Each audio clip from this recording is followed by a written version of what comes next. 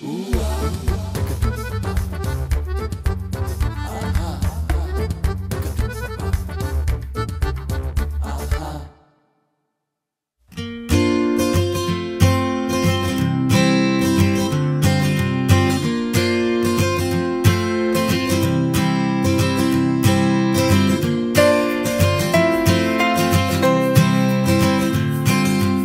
Za razliku od Srbije i prestonice, gde se svest o podizanju javnih spomenika vezuje za drugu polovinu 19. veka, kada se stiču uslovi za podizanje spomenika vođama i ustanicima iz prvog i drugog srpskog ustanka, u Zlatiborskom kraju se ne podižu slični spomenici, ni obeležja na mestima značajnih bitaka, već postoji tradicija obeležavanja grobnih mesta junaka i ustanika i to uglavnom u okviru sakralnog prostora prostora.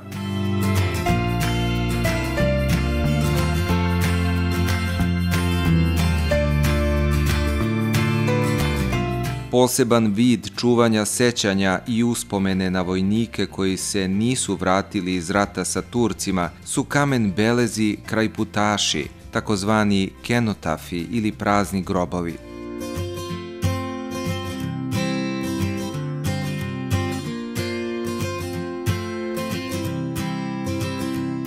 Očuvanje memorije na dinastiju Obrenović i Karadžorđević uslovilo je pojavu velikog broja monumentalnih spomen obeležja na prostoru cele Srbije u drugoj polovini 19. i početkom 20. veka.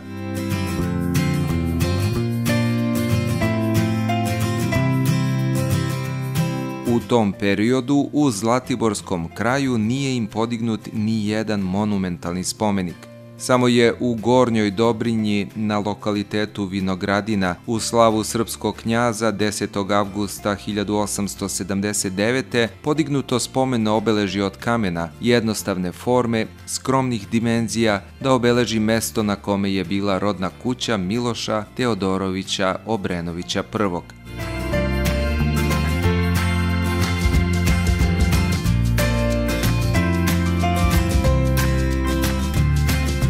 U Čajetini je 1900. podignuta barokna spomen česma, visoka 4,5 metra, u cilju očuvanja sećanja na srećno spasenje njegovog veličanstva kralja Milana u atentatu 24. juna 1899.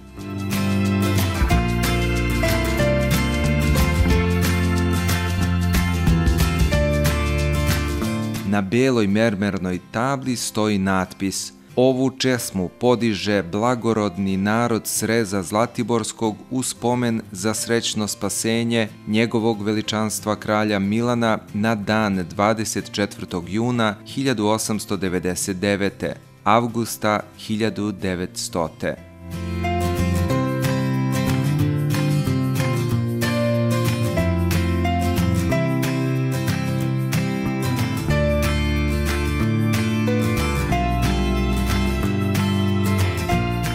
Sa prednje strane spomen česme stoji natpis obnovljena u slavu besmrtnih ratnika Sreza Zlatiborskog, palih u ratovima za oslobođenje i ujedinjenje 1912-1918, za vreme vladavine kralja Aleksandra Karađorđevića 1925.